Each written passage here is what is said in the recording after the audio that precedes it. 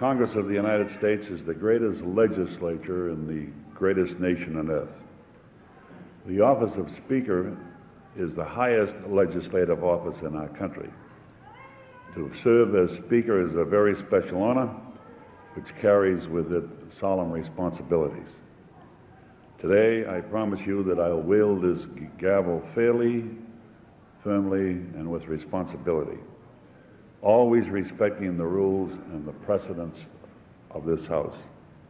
Once again, Congress is convening its two houses controlled by two political parties.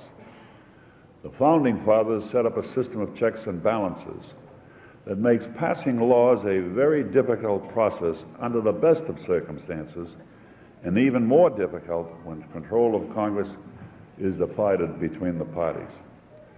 Before 1981, when these things occurred, this partisan division promoted legislative inaction and stalemate. This has not been the case for most issues considered during the 97th and 98th Congresses. There were many legislative fights, but there was almost always a decisive outcome.